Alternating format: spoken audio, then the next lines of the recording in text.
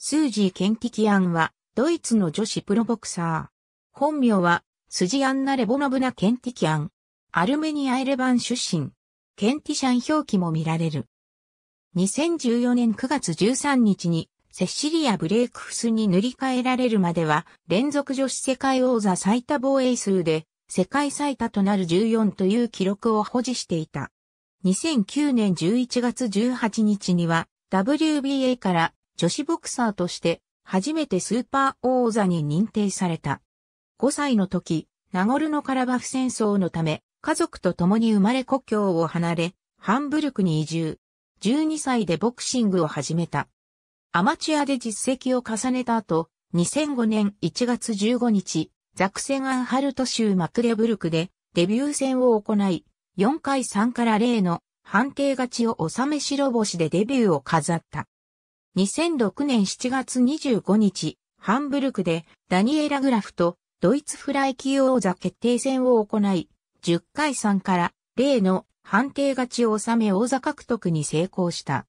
2006年9月9日、マクデブルクでマリベルズリータとウィブフインターコンチネンタルフライ級王座決定戦を行い、4回 TKO 勝ちを収め王座獲得に成功した。2006年11月21日、ハンブルクでマヤ・フレンツェルと対戦し、4回1分35秒、TKO 勝ちを収め初防衛に成功した。2007年2月16日、ケルンのファイトナイトアリーナで、カロリーナ・アルバレスと WBA 女子世界フライ級初代王座決定戦を行い、9回27秒、TKO 勝ちを収め王座獲得に成功した。2007年3月30日、ケルンのケルンアレーナでマリア・ホセ・ヌネスと対戦し、3回 TKO 勝ちを収め、初防衛に成功した。2007年5月25日、ファイトナイトアリーナでナディア・ホックミと対戦し、10回2から1の判定勝ちを収め2度目の防衛に成功した。2007年9月7日、デュッセルドルフのブルクベヒターカステロで、シャニー・マーティンと対戦し、3回1分14秒、TKO 勝ちを収め3度目の防衛に成功した。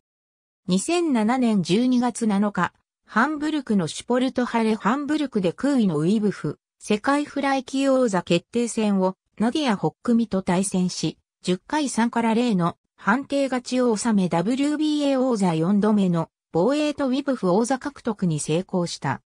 2008年2月29日シュポルトハレハンブルクでサラグッドソンと対戦し、3回57秒、TKO 勝ちを収め WBA 王座は5度目、ウィブフ王座初防衛に成功した。2008年5月10日、ハレアンデアザーレでメアリー・オルテガと対戦し、初回1分53秒 TKO 勝ちを収め、WBA 王座は6度目、ウィブフ王座2度目の防衛に成功した。2008年8月29日、ブルクベヒターカステロで、ハガーシュモルフェルドファイナーと対戦し、10回3から0の判定勝ちを収め WBA 王座7度目、ウィブフ王座3度目の防衛に成功した。2008年12月5日、ハレアンデアザーレでアナスタシア・トクタロバと対戦し、10回3から0の判定勝ちを収め WBA 王座は8度目、ウィブフ王座4度目の防衛に成功した。2009年3月20日、シュポルトハレハンブルクでエレナ・リードと対戦し、10回3から0の判定勝ちを収め WBA 王座は9度目、ウィブフ王座5度目の防衛に成功した。2009年7月4日、ハンブルクのカラーラインアレーナでカロリーナ・グティエレスが相手と対戦し、10回3から0の判定勝ちを収め WBA 王座は10度目、ウィブフ王座6度目の防衛に成功した。2009年10月10日、メクレンブルクイコールフォアポンメルン州ロストックのシュタットハレ、ロストックで WBO 女子世界フライ級王座決定戦をジュリア・サヒンと対戦し、10回10回3から0の判定勝ちを収め WBA 王座は11度目、ウィブフ王座は7度目の防衛、WBO 王座獲得に成功した。2009年11月18日、女子ボクサーとして初めて WBA からスーパー王座に認定された。2010年4月24日、シュポルトハレハンブルクで、ビバ世界フライ級暫定王者、ナディアラウイと対戦し、10回2から1の判定勝ちを収め WBA 王座は12度目、ウィブフ王座は8度目、WBO 王座初防衛に成功した。2010年7月17日、シュベリンのスポーツコングレスセンターでアレリームシーニョと対戦し、偶然のバッティングによる負傷で試合続行が不可能となったため、3回27秒を、0から1の負傷判定で引き分けたが、WBA 王座13度目、ウィブフ王座9度目、WBO 王座2度目の防衛に成功したが、無効試合となった。2011年3月26日、ハンブルクでアナアナ空と対戦し、10回3から0の判定勝ちを収め10度目の防衛に成功した。2011年10月21日、ブランデンブルク州フランクフルトアンデアオーダーのブランデンブルクハレで WBO 女子世界ミニフライ級王者のティラッポンパンニミと対戦し、10回3から0の判定勝ちを収め WBA 王座14度目、ウィブフ王座11度目、WBO 王座3度目の防衛に成功した。2012年5月16日、ブランデンブルクハレでメリッサ・マックモローと対戦し、プロ初黒星となる10回0から2の判定負けを喫しウィブフ王座12度目、WBO 王座4度目の防衛に失敗し、王座から陥落した。この敗戦で WBA からスーパー王座を剥奪され、正規王座に差し戻された。2012年12月1日、デュッセルドルフのブルクベヒターカステロで、元 WBC 女子世界ミニマム級王者カリーナ、モレノと対戦し、10回1から2の判定負けを喫し15度目の防衛に失敗、王座から陥落した。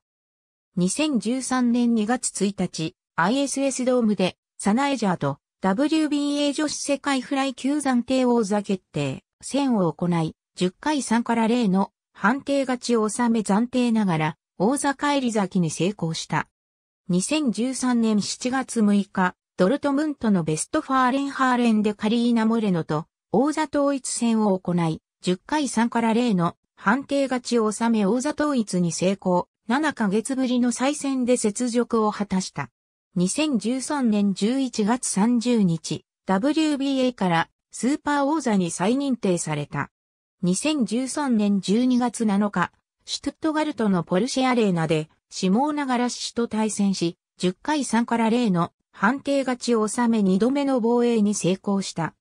2014年5月31日、クレイフェルトのケーニフィパラストで、キンタンヒと対戦し、9回1分31秒 TKO 勝ちを収め3度目の防衛に成功した。2014年11月8日、ポルシェアレーナで WBA 女子世界スーパーフライ級王者藤岡奈穂子と対戦し、10回3から0の判定勝ちを収め4度目の防衛に成功した。2015年10月2日、ハンブルク・ハンブルク・ミッテ区・ビルヘルムスブルクで、スサナ・クルス・ペレスと対戦し、10回3から0の判定勝ちを収め5度目の防衛に成功した。ありがとうございます。